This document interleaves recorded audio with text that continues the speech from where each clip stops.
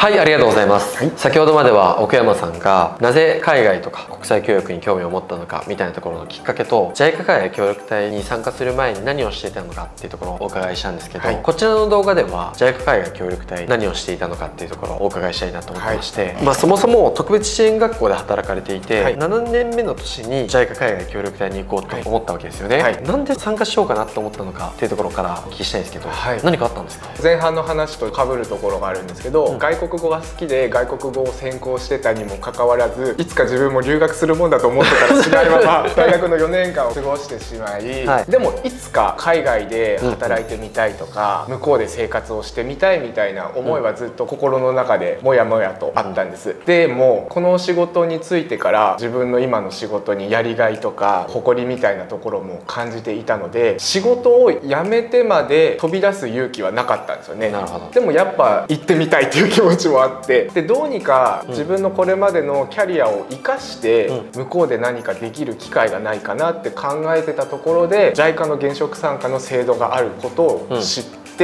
いろいろ自分の希望がそこに全てマッチされてたっていうのがあって大会に参加しようっていうのとあとは単純に自分に対しての経験がもっと欲しかった。なるほど。子供たちに教える仕事なので経験がものを言うというか人生経験豊富の人の方の話ってすごく面白いじゃないですか。多分教育現場に限らず。経験値が高い人ほど人生面白いなって思っていたので、なるほど。それも含めて JICA に参加しました、うん、なるほど。ありがとうございます。じゃあ実際職種でいくと小学校教育とか職種は結構何でも何でもある大丈夫でもちろん小学校教育で行く人もいるし、はい、数学教育あと理科教育、なるほど。家庭科の先生とかだったら料理っていう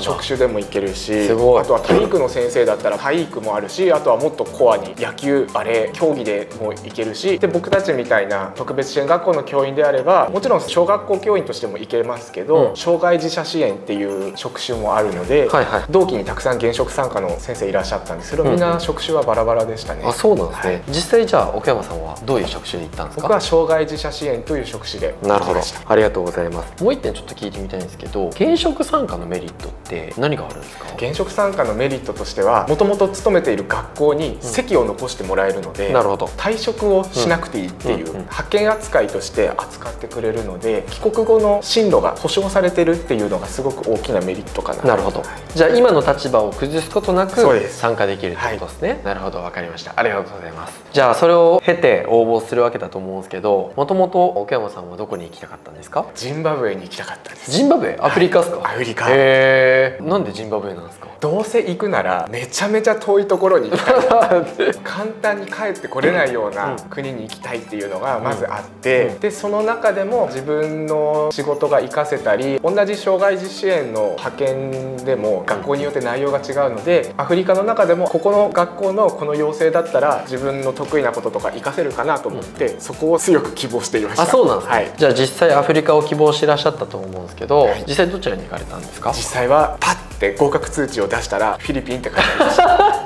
旅行で行けるよみたいな。一番遠いところを望んだのに一番近い国に なるほどですね。じゃあ実際どんなことをするためにフィリピンに行かれたんですか、はい、フィリピンの島国の中にあるレオン中央小学校っていう小学校があるんですけど、はいはい、その中に特別支援学級があったんです、うん、で小学校の中にはあるんですけど対象は高校生以上の子どもたちも在籍しているところででそこで中学生以上のお子さんたちを対象に作業学習っていうお仕事をするための勉強が日本にもあるんですけど、うん、製品を実際に自分たちで作ってそれを販売して収益を得るっていうサイクルを経験する学ぶっていう要請を受けていました。なるほど。実際じゃあそのテーマを持ってフィリピンに行くじゃないですか、はい、実際どうでした？僕もそれなりに場数を踏んでたので日本で何度も授業はしてきているし、うんうん、ある程度の授業はできるんじゃないかなと思って行ったんですけど全然できなそうなんですね。まず子供たち座ってもくれないし物もないし、うん、先生たちも授業になるとすごく無関心だし全然最初はもうハンドリングが全くできてないあそうなんですね。状態でした。実際めちゃくちゃしんどかったですか？最初。まず授業に入るまでにすごい時間がかかって先生たち全然授業らしい授業全くしてなかったので、うんうん、黒板に足し算だけ書いて、うん、あとやっといてみたいな。あそうなんだ。あとなんか横でずっと寝っ転がったり携帯いじったりしてる。先生たちが多くて僕はそのまず現実を受け入れるのにすごく時間がかかって、うん、えじゃあ実際それをどう変えようと思ってました？まず自分の授業だけはしっかりしなきゃと思って全部を変えるのは無理だったので、うん、でも結局赴任してから自分の授業を持ってたのって3か月ぐらい経ってからだったので。そうなんですね、はい、じゃあその3か月はもうキャッチアップみたいな感じ。そうですそうです。なるほど。まあ他の先生が放置しちゃってるんで足し算とかは僕が教えてあげたりみたいなで、うんうん、自分の授業は結構後からスタートでとりあえずルールを決めなきゃダメだと思って まず座るって勝手に出ないとか、うんうん、あとはもうやることを分かりやすく見て分かるようにしたり。でも子供は割と素直なのであとは日本人が教えるってだけで楽しんで受けてくれるんですけど子供たちよりも周りの大人をどう介入させるかがすごく苦労しました、ね、そうですよね。奥山さんが授業やっててももちろんそれはそれでもあるかもしれないけど変えるべきはそこじゃないというところですよね。僕は補助に来たのであって、うん、メインでやるために来たのではない、うん、でもそのこっちの立場を向こうはあまり理解してもらえてなくてっていう、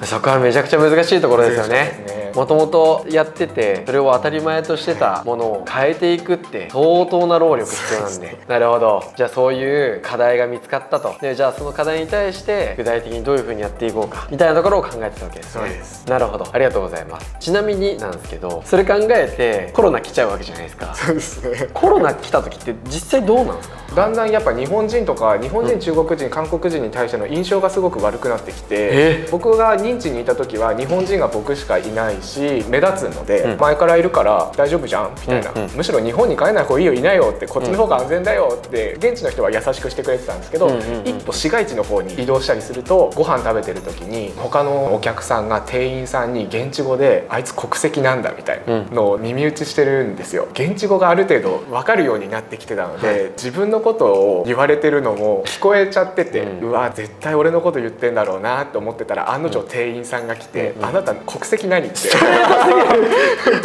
なるほどね。やっぱその時中国の武漢がすごくフィリピンでも話題になってたところだったので、うん、 Chinese Korean Japanese みたいなすごい確認されて Japanese って言ったら、ならいいわ みたいな。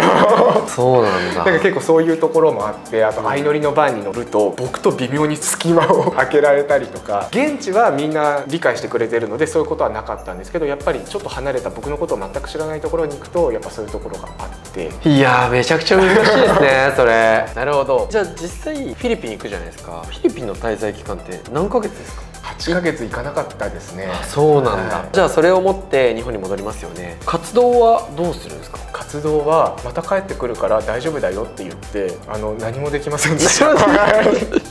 えじゃあ当初はすぐ収まるだろうという想定だったんですよね。でもその期間はどうするんですか？だって職もないもんね。職もないので実家にいました。実家にずっといたってことですか？実家に2か月ぐらいい。て、はい、でもうほぼほぼ帰れないのが確定して、うん、JICA の避難帰国できる日数っていうのが120日間って決まっていてなので僕は3月末に帰ってたので8月頭が避難帰国扱いの締め切りでもうそれ以上超えるようであれば僕たち現職は強制的に復職をしなきゃいけない。なるほど。かったんです、うん、でも6月の時点でそれまでに戻れる見込みはもうありませんっていうふうに JICA の方から説明があったので、うん、僕はもう4月5月実家の方にいたら復職をする準備を6月から始めてもう6月には今勤めてるところの方に引っ越して復職の準備をしてました、そうなんですね。ちょっともう無理だなと思って諦めてました。なるほど。結構大変でしたね でもちょっとそれでも聞いてみたいなと思ったんですけど8ヶ月いたわけじゃないですか。実際にできた期間が半年ぐらいだったとしても、はい、その期間奥山さんはフィリピンに行ってよかったと思いますか？すごく思いますね。何が一番良かったんですかね？やっぱり自分の目で見て足で赴いて頭で考えて心で感じてみたいなすごい感情が思考が目まぐるしい経験をして、うん、たくさん教わることもあったし、うん、自分自身でいろんな考え方を見直すきっかけにもなったしあとは何より自分の仕事に生かせそうなことがたくさんその期間で経験できたので、うん、行ってみてあの時飛び込んでみてよかったなっていうのはすごく思います。なるほど。実際フィリピンで8ヶ月ぐらいですかねい。てそこでも特別支援学校で働かれてたわけじゃないですか、はい、日本に帰ってきて日本に行かせそうなところもありました。フィリピンの教育制度とかシステムを日本に生かすとかっていう点は正直あまりまた違うなとは思ったんですけど僕自身の子どもたちへの接し方とか授業の作り方とかっていう点ではあとは子どもたちの気持ちの理解の仕方っていう点ではすごく見直すというかマインドを変えていこうっていうところはありました、うん、なるほど。ありがとうございます。ちょっとこの動画では JICA 海外協力隊で何をされていたのかどういう経緯になったのかみたいなところも含めてお話をお伺いしたんですけど次の動画ではそれも含めて今どういうスタンスでお仕事をされてらっしゃるのかっていうところをお聞きしていきたいなと思います、はい、じゃあこの動画が面白いなと思ったら是非グッドボタンとチャンネル登録をよろしくお願いします。はいじゃあ本日はありがとうございました。ありがとうございました